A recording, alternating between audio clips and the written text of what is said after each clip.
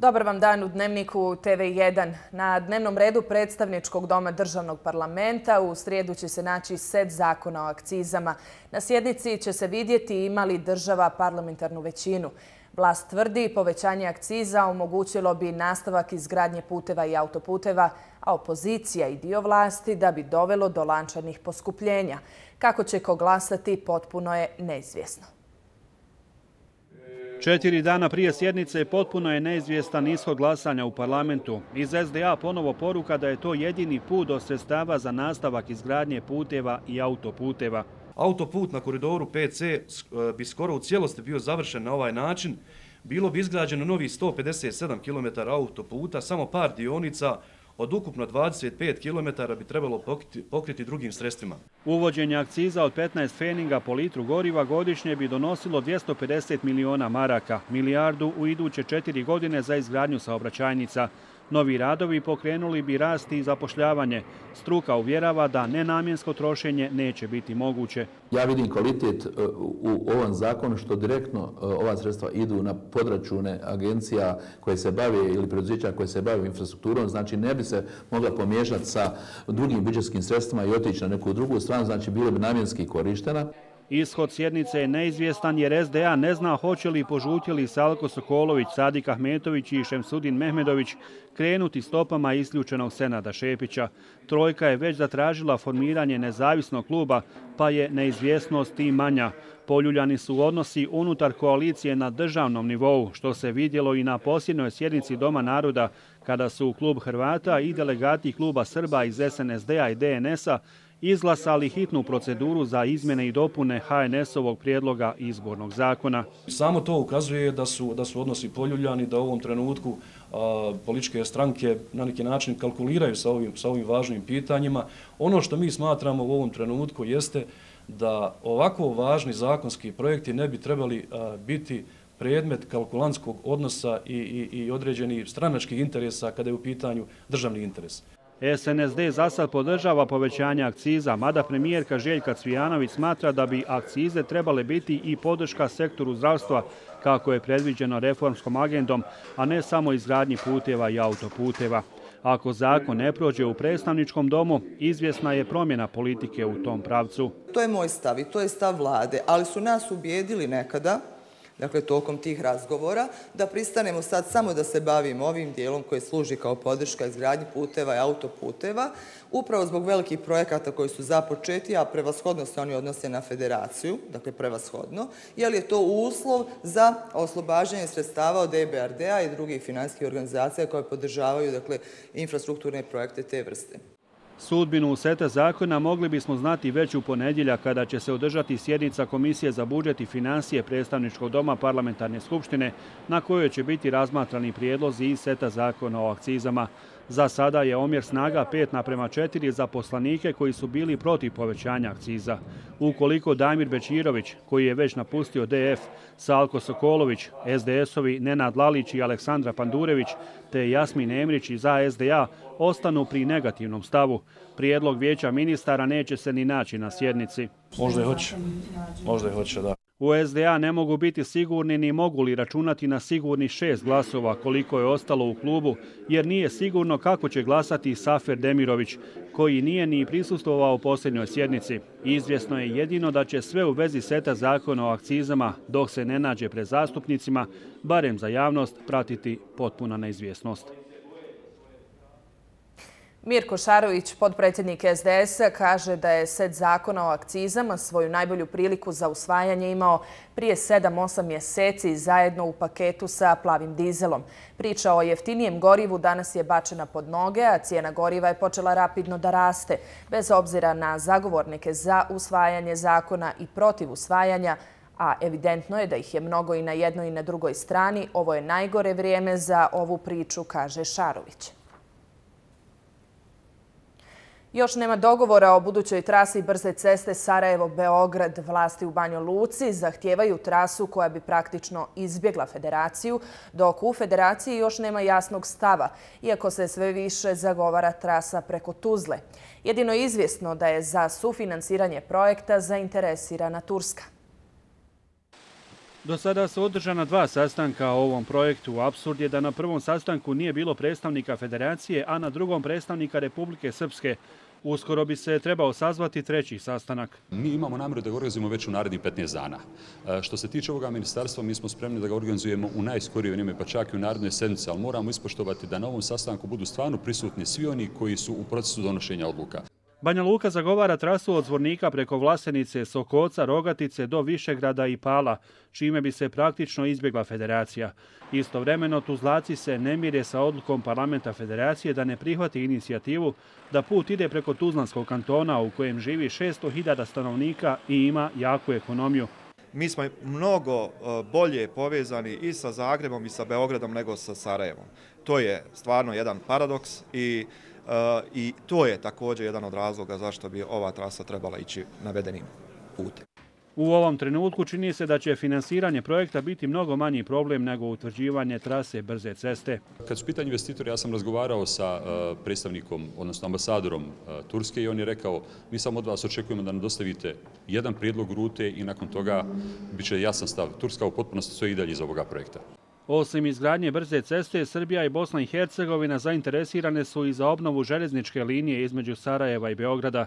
Ima najava da bi to moglo biti završeno za dvije godine. U Jablanici je obilježena 74. godišnjica bitke na Neretvi. U muzeju bitke za ranjenike na Neretvi otvorena je izložba Historijska pruga kroz historijske izvore. Jedna od najznačajnijih radnih akcija u bivšoj Jugoslaviji je omladinska pruga Brčko-Banovići. Nakon otvaranja izložbe upriličena je i manifestacija Cvijet za ranjenike, odnosno spuštanje 74 karamfila sa mosta u rijeku Neretvu. Cvijeće su položile brojne delegacije, među kojima i lideri SDP-a i DF-a Nermin Nikšić i Željko Komšić. Na jednoj je kolona stala. Hiljade baklji gori, a vođa ešalona krsto popivoda biće. Šta je stala kolona? Konj je propao kroz most, a ostao ranjenik na mostu nastali dalje. To je jedna od najhumanijih bitki gdje su zdravi ginuli za bolesne, e, gdje su uspjeli svojim žrtvama i supornošću da 4000 ranjenika prevedu kroz ove prostore preko Sutjevske prema Crnoj gori.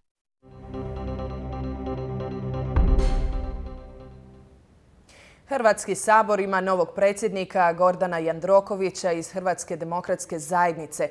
Povjerenje mu je dalo 76 zastupnika okupljenih oko HDZ-a. Zastupnici opozicijone socijaldemokratske partije Hrvatske napustili su salu u trenutku glasanja. Kriza vlasti izbila je prošle sedmice kada su trojica ministara Mosta zatražila smjenu ministra financija Zdravka Marića, smatrajući da je Marić u sukobu interesa zbog krize koncerna Agrokor. Gordan Jandroković. Pozivam vas još jednom na odgovornost, na međusobno uvažavanje i toleranciju, na prihvaćanje razlika, na izbjegavanje uvredljivog govora i osobne kao i svake druge nesnošljivosti. Pozivam vas da prije svega budemo korektni jedan prema drugome. Znatna većina hrvatskih saborskih zastupnika izjasnila se protiv raspisivanja novih parlamentarnih izbora. U Francuskoj traje predizborna šutnja u oči drugog kruga predsjedničkih izbora. Tamošnja, ali i svjetska javnost duboko je podijeljena o tome ko bi trebao biti nasljednik, odnosno nasljednica François Hollanda. Provedene ankete prognoziraju uvjerljivu pobjedu proevropskog kandidata centra Emanuela Macrona. Najnovije ankete pokazuju da Macron vodi sa 61 naprema 39%.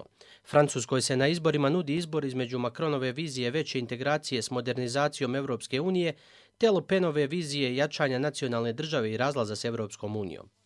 Francuski građani su u prvom krugu rekli koga žele da ih vodi u sljedećem periodu. Izbor je veoma jednostavan. Želio bih da naši glasači podrže naš program, a ne samo glasači koji su glasali u prvom krugu. Želim da budem predsjednik svih Francuza.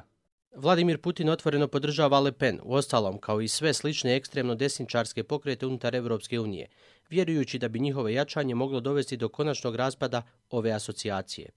Mislim da će moja pobjeda razuvjeriti sve medije koji ne žele da primijete socijalne nemire koje postoje u našoj zemlji, a ljudi će svoje nezadovoljstvo izraziti u nedjelju na izborima. Ljudi žele promjenu, pravu promjenu.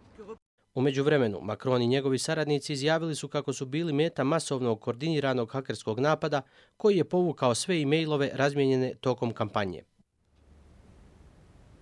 Velika međunarodna istraga sajta za dječju pornografiju završila je hapšenjem 900 osoba širom svijeta i identifikacijom 300 tinjak djece žrtava, saopćili su američka policija i Europol. Istraga koja je trajala više od dvije godine vodila se nakon razotkrivanja izuzetno sofisticiranog sajta Playpen, čiji je osnivač i vlasnik Steven Chase. Chase je ove sedmice osuđen na 30 godina zatvora. Playpen se smatra najvećom mrežom za internetsku razmjenu dokumenta sa pedofilskim sadržajem. Najmanje 11 osoba je poginulo u poplavama koje su zahvatile Savezne američke države Arkansas, eh, Illinois, Luzijanu, Indijanu i Misuri. Materijalna šteta veća je od milijardu dolara. Očekuje se da se nivo rijeka Misuri i Mississippi unutar i oko grada St. Louisa poveća tokom vikenda. Obilne padavine i poplave zahvatile su i New York i New Jersey i saobraćaj se odvija otežano. Voda je zahvatila Penn Station, glavnu međugradsku željezničku stanicu u New Yorku. Suđenje je meksičkom kralju droge Joaquinu Guzmanu, zvanom El Chapo, počeće u aprilu iduće godine, objavio je sud u Njujorku. Očekuje se da će proces trajati dva do tri mjeseca. Meksiko je Guzmana izručio Sjedinjenim državama kako bi mu se sudilo za optužbe za rukovodđenje kriminalnim krugom i zločine povezane sa krijumčarenjem droga. Bude li proglašen krivim, prijeti mu kazna doživotnog zatvora. Prema uvjetima sporazuma o izručenju SAD-u, Gozmanu neće moći biti dosuđena smrtna kazna.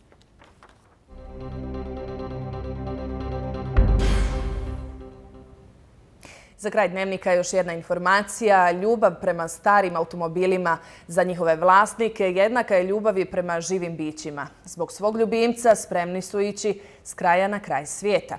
Ovogodišnji 15. međunarodni all-timer susret automobila i motora okupio je veliki broj zaljubljenika u all-timere koji su pristigli iz Bosne i Hercegovine, Hrvatske, Srbije, Mađarske, Slovenije, ali i drugih zemalja. Toliko u dnevniku. Vidimo se ponovo u 19 sati. Do tada lijep pozdrav.